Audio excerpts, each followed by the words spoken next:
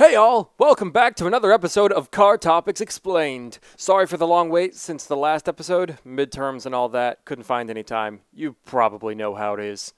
But anyways, today I'm back and we are going to be talking about Brian's 2002 Nissan Skyline GTR from Fast and Furious, the fourth movie. And let's just get right into it. The first thing you should know is that none of the cars used in the fourth movie were actual GTRs they were all GTT ER34 models, and some weren't even turbocharged. There are two big benefits to not using real GTRs. The first is using non GTR Skylines is cheaper, and also you don't feel quite so guilty when you damage or completely wreck them. And because they were already rear wheel drive, they didn't have to remove the front drive shaft, which made it easier for the stunt drivers to do burnouts and slides. In fact, that is actually what they did to the cars in Too Fast, Too Furious. They removed the front drive shafts so that the real GTRs they used would slide around like rear wheel drive cars. And I'm just going to settle this right now. All of the skylines used in Too Fast, Too Furious are real GTRs.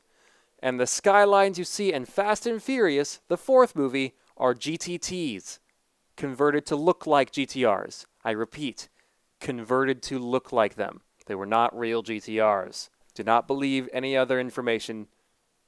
That that is just that is the truth. That is fact. It, that's how it is. The cars used in Fast and Furious were actually Kaizo cars.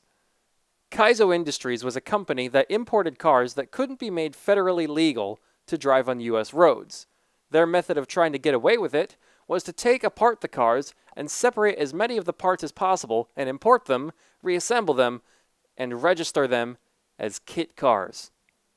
And that didn't turn out well, because in the end, Kevlar wearing immigration and customs enforcement agents came after Kaizo and the owners of the cars and took them. Can you imagine that? Guys in Kevlar coming after you and your car? And there's the high probability of getting hefty fines or even jail time if you're caught with one of these cars or involved with importing them illegally. It just doesn't work. Don't do it. Public service announcement. Don't do it. It's not worth it, and you end up getting nice cars crushed in the process, which just makes you look like a an idiot. But it's interesting how that works, isn't it? But before I succumb to the urge to rant about the US and their car laws, let's move on to the mods on the Fast and Furious Skyline. So, there's a whole bunch of different stories about what this car actually had equipped. But Usually, in the Fast and the Furious movies, there's at least one car that is called a hero car. This car is often the most heavily modified when it comes to not just exterior and interior parts, but also performance parts as well. Stunt cars are usually just visually modified to save money, and the hero cars are used for close ups, engine bay shots, and anything where the car isn't at extreme risk of being damaged. So I figured I'd see if there's any info at all regarding the Hero Skyline from the movie. And I can't find any complete parts lists, so I'm going to do my best with what I can confirm. The exterior of the car has parts from what appear to be the East Bear body kit.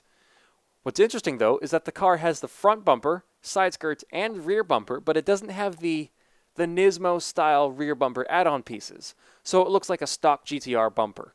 The hood is also an East Bear part as well. And I'd like to just confess that it was a lot more difficult for me to find these parts than it should have been. But the reason why it took me a little longer to find them than I thought it would is because I was only looking at GTR parts, aka parts for the BNR34 chassis. All of the cars in the movie used ER34 chassis. And thus, of course, they had only ER34 parts. So just bear that in mind. All of the East Bear parts, you know, front bumper, side skirt, rear bumper, and the hood as well, are all just for the ER34. Moving on though, the car also obviously has a GTR wing, and the wheels are Ray's Volk RE30s, and perhaps even more obviously, the car was painted in Bayside Blue. As for the interior, what I can see is that it has OMP Italy street tuning seats, a Matt Sweeney roll cage, a Magden M1 performance computer, a blue OMP Neptune shift knob, and a Momo steering wheel that looks like a Momo Mod 80.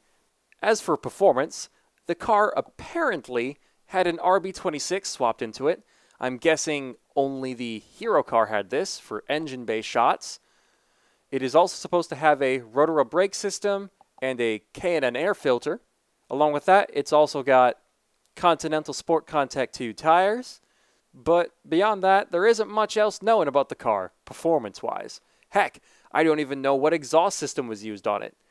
Um, but you can see turbonetics on the intercooler, so perhaps you could say the film is implying, it might not actually be the case in real life, but it could be implying it has turbonetics, you know, parts under the hood, so maybe a, an interesting turbocharger from them.